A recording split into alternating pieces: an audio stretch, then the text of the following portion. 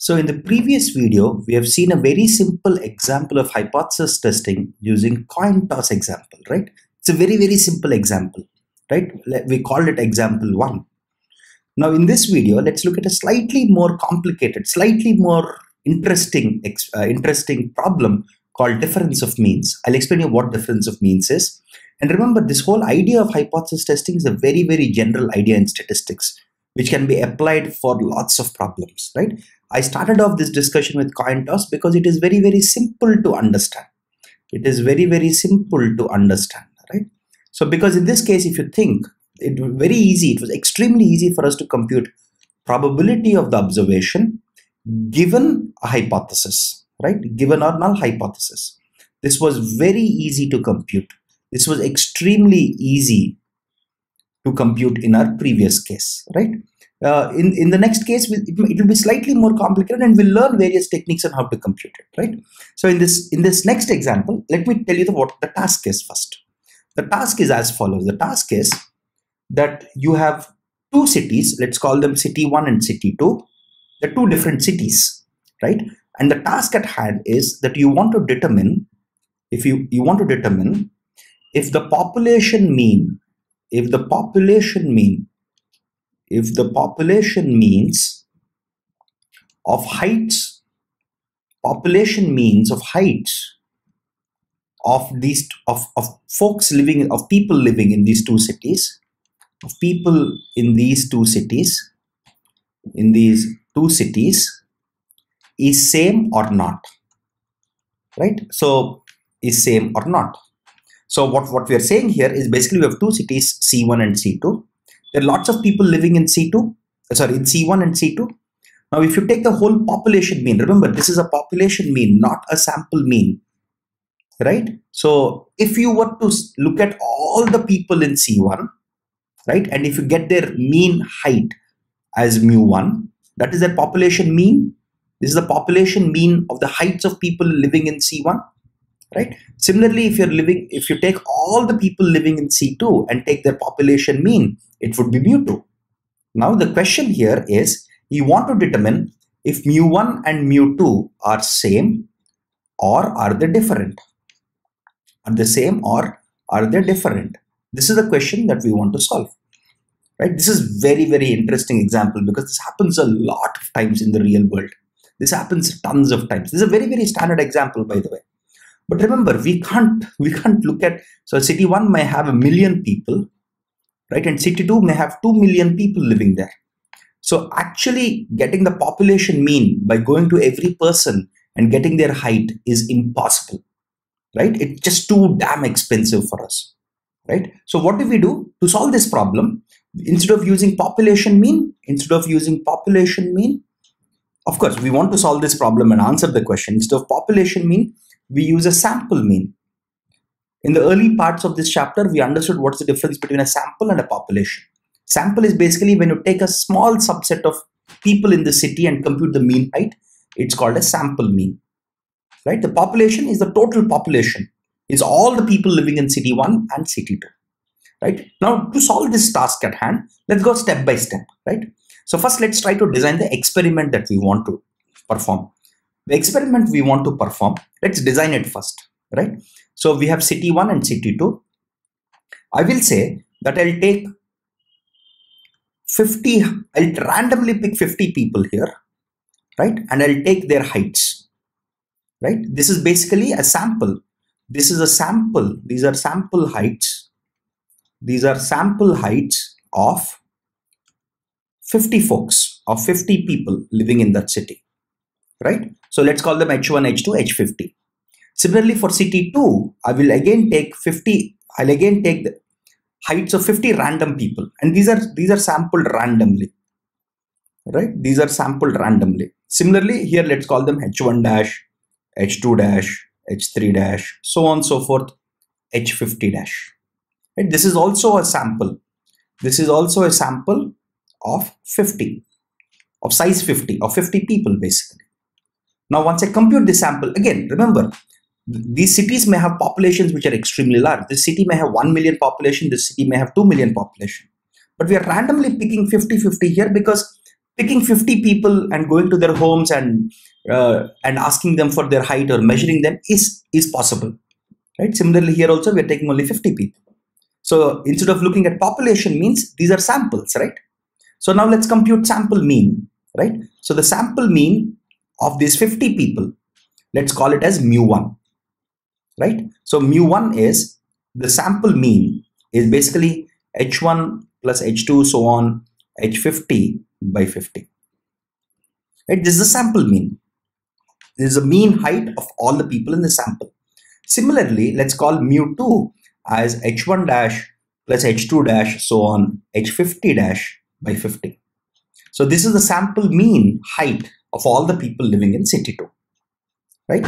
Now since we can't do population means we'll use sample means itself for our experiment right? This is remember i'm still at designing the experiment right? Let's assume let's assume that when i made the observation let's assume that i got my mu1 to be let's say 162 centimeters right? And let's assume my mu2 i got it as 167 centimeters these are observations remember these are observations so i've designed my experiment and i'm observing these are observed values this is an observed value when I took 50 random people and got their heights, I got 162 centimeters. And when I took 50 random people from CT2, this is my observed value, right? And of course, repeating this experiment multiple times also can get expensive.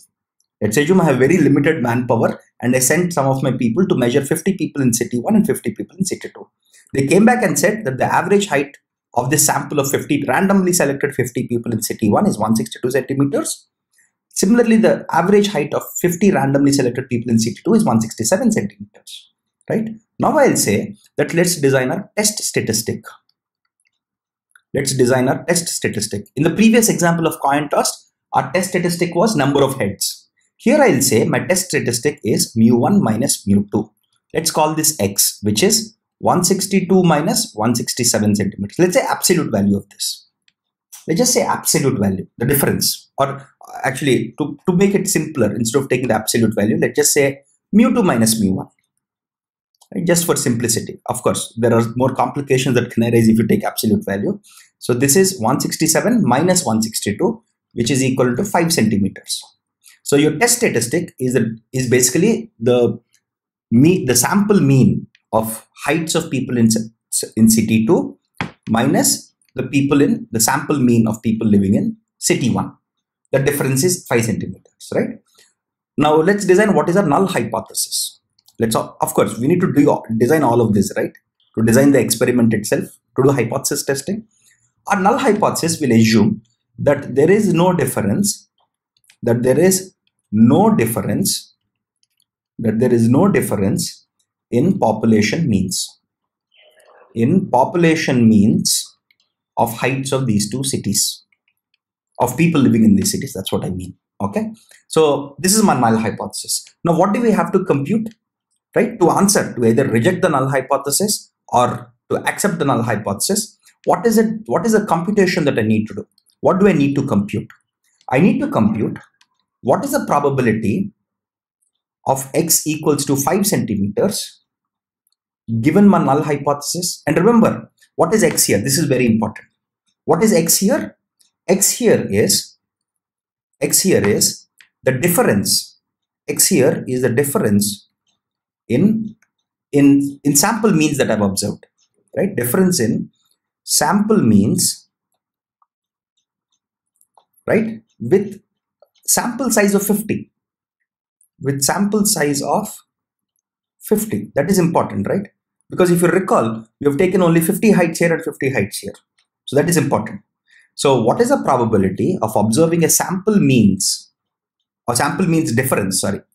So the, what is the probability of observing a difference in sample means of 5 centimeters with a sample size of 50 if the null hypothesis is true. And what is null hypothesis is true basically means? It means that there is no difference in population means. Okay, so let's try to read it carefully. I'll try to write it in English because oftentimes we tend to lose the crux of the idea if you don't try to read it in English. I'll try to write it. This needs to be read as the probability of observing, the probability of observing a difference of a difference of 5 centimeters in sample means, in sample mean heights, in sample mean heights, right, of sample size 50, of sample size 50, right, between cities, uh, between cities C1 and C2, if, if there is no population difference, if there is no population if there is no population uh, difference in means in mean heights. That's what i mean. Right? It's it's always important to read your english your equations in english statements. Otherwise we lose track of it right? So look at it. If there is no population difference in mean heights is nothing but this condition on h0 i'm just highlighting it in the same color. This blue thing this part this part basically means what you see in the blue here right? Now what you see here, x equals to 5 centimeters is basically this thing, a difference of 5 centimeters in sample mean heights of sample size 50 between cities C1 and C2, right? And of course, this probability here, this probability here is basically this probability, right? So it's always important to read your equations in English, otherwise you lose track of it. I strongly recommend anybody who's reading an equation, especially probability equations, to see, to actually read it in your mind and what this equation actually means, right? So given this interpretation of it, now let's go case by case. So the big question here is how do you compute it? That's a big question, right? How do you compute it? We'll see how to compute it in the next video, right? In the case of coin tosses, it was very simple to compute, right? But for this, it's slightly tricky. We'll see how to compute these probabilities in the next video. For now, let's take two cases to understand hypothesis testing better. Case 1. Let's assume there is some way for us to compute it and we got probability of x equals to 5 given h0 is let's say 0.2. Let's assume we got it as 0.2. 0.2 is nothing but 20%, right? Then what does it mean? Let's try to read it. Again, we should always read these equations in English as I told you. What does this mean? This means that there is a that there is a 20% chance Remember, there is a 20% chance. This 20 and this 20 are the same.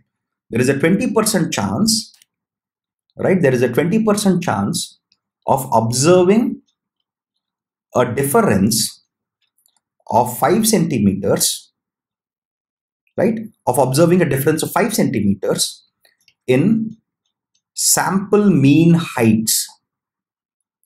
In sample mean heights of people in cities C1 and C2 with a sample size with a sample size of 50 cent, uh, 50 folks with a sample size of 50 if the null hypothesis is true. What is null hypothesis is true basically means? What it means is this. Null hypothesis being true basically implies if if there is no population, if there is no population mean difference in heights, right? So again, you should always read it. This can get very tricky, by the way. Hypothesis testing is something that I have seen a lot of people make mistakes, including myself.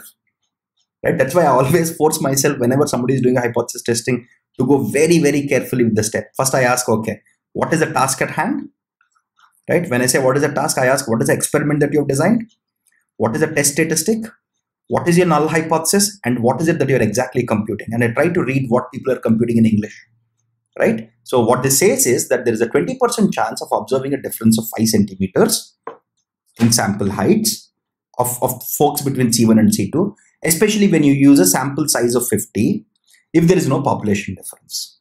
Since there is a 20% chance, here remember we are assuming, so the probability of making the observation given our assumption, given our assumption, our assumption is nothing but our uh, null hypothesis what is our observation? Our observation is x equals to 5. So the probability of making the observation, given our assumption is true, is 20%, which is significant, right? This 20% is a significant value. It's, it's not too small. It is actually considerably good.